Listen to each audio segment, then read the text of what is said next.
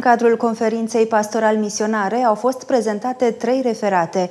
În cadrul acestora a fost subliniată valoarea liturgică și culturală a cimitirelor, s-a discutat despre dinamica unor rânduieli și formule liturgice din cadrul cultului morților și au fost evidențiate personalitățile bisericești înmormântate în cimitirul Șerban Vodă Belu din capitală.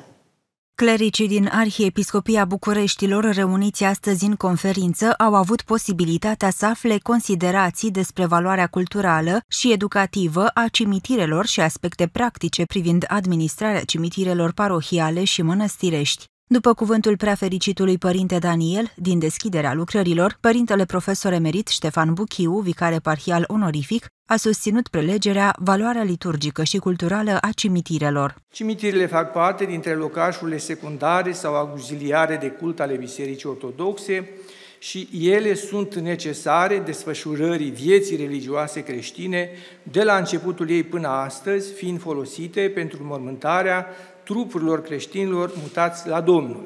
Grija deosebită pentru locul odihnei de veci a creștinilor se întemeiază pe credința în nemurirea sufletului și în învierea morților, deoarece moartea a fost privită ca un somn al trupurilor care se va încheia la parusia Domnului și la trâmbița Arhanghelului.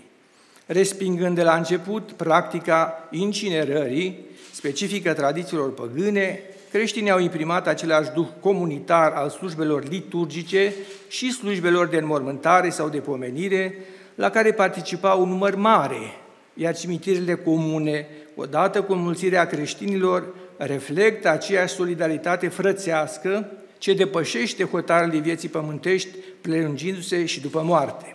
În continuare, părintele asistent Silviu Tudose de la Facultatea de Teologie Ortodoxă din București a vorbit despre anumite aspecte ale cultului morților în Biserica Ortodoxă Română și despre dinamica unor rânduieli și formule liturgice. Slujbele bisericii au cunoscut și cunosc permanent un proces de devenire sau de creștere sau evoluție.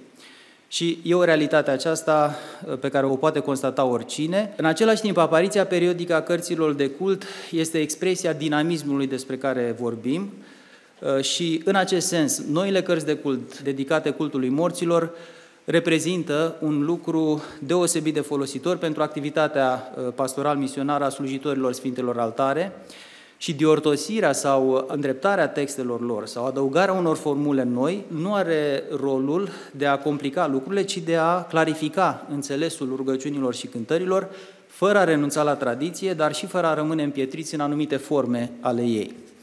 Adaptarea unor rugăciuni la realitățile contemporane a fost și este un lucru necesar pe care biserica nu îl poate ignora.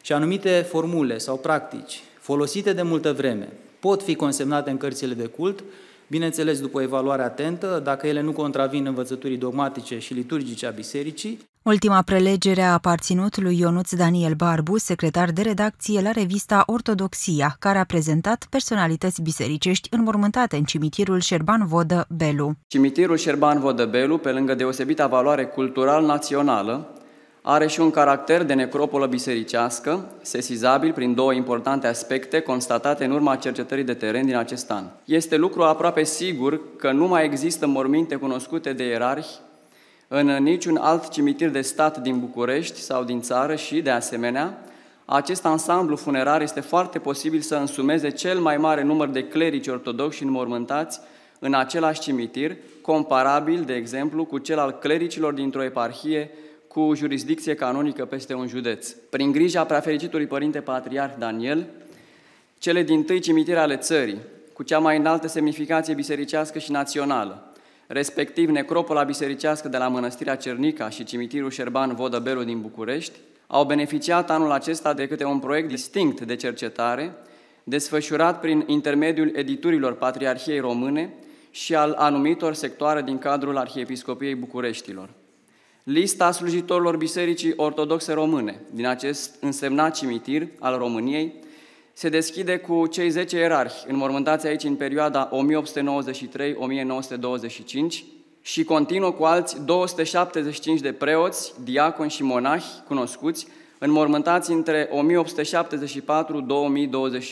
Cu prilejul conferinței pastoral misionare, clericii participanți au vizionat filmul documentar Numele lor nu sunt uitate, despre cultul celor adormiți în Domnul, realizat recent de Trinitas TV.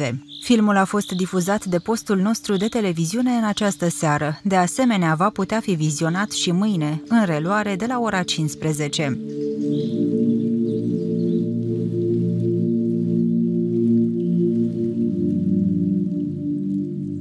Noi stăm în prezența colivei și a sticlei cu vin, colivă care simbolizează trupul celui adormit, mergem la mormântul celor adormiți și mijlocim pentru ei înaintea tronului Preasfintei Trăim pentru a fi iertate păcatele lor.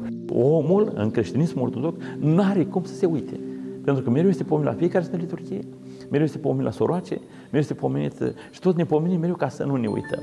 Mântuirea noastră este una colectivă celor care trăiesc în comuniune cu Hristos pe verticală și cu frații pe orizontală. Iar pierderea de obicei se face așa cum se întâmplă în trup și anume doar individual. În Împărăția Lui Dumnezeu ne vom cunoaște interiorul unul altuia, chiar și fără vorbe, și ne vom împărtăși și ne vom bucura de cunoștințele celuilalt, de bucuria lui, de modul în care l-a cunoscut pe Dumnezeu și atunci va fi o comuniune adâncă între noi și Sfinții Îngeri și va privi Dumnezeu Tatăl cu bucurie la noi ca la fiii săi.